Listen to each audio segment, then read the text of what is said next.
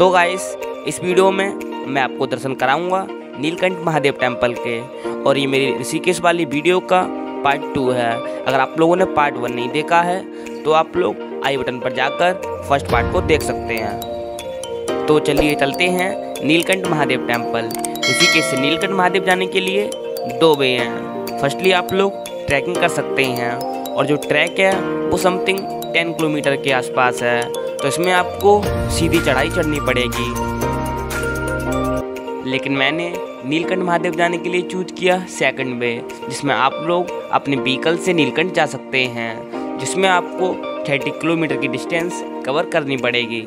और रास्ते में आपको बहुत ही अच्छे व्यू भी देखने को मिलेंगे।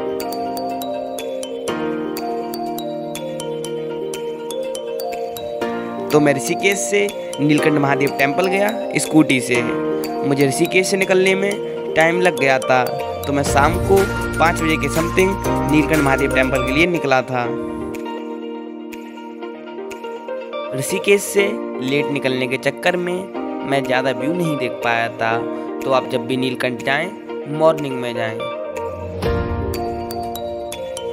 तो गाइस इस समय मैं नीलकंठ की तरफ़ जाने वाले रास्तों पर चल रहा था।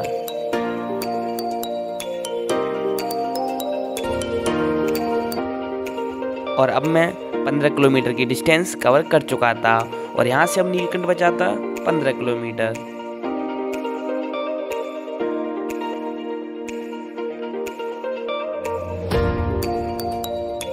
मैं जैसे जैसे आगे बढ़ता जा रहा था, रात होती जा रही थी।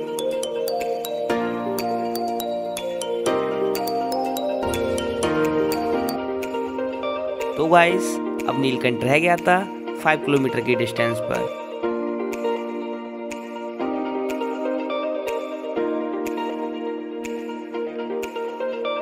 तो गाइस मैं अब नीलकंठ पहुँच चुका था और मैंने अपनी स्कूटी पार्क कर दी थी और अब मैं जा रहा था मंदिर की तरफ़। आपको रास्ते में इस तरह की कई शॉप्स भी देखने को मिलेंगी।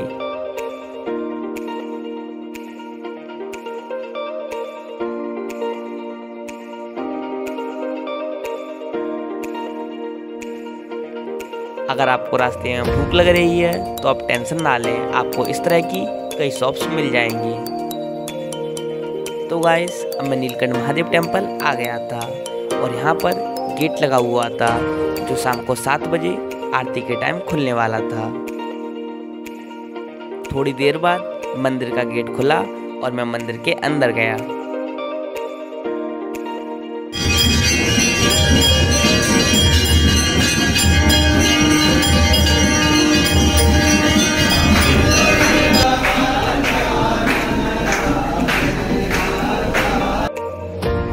मंदिर की आरती देखने के बाद और मंदिर में घूमने के बाद मैं रात ही में निकल गया ऋषिकेश, जो कि काफ़ी एडवेंचरस था।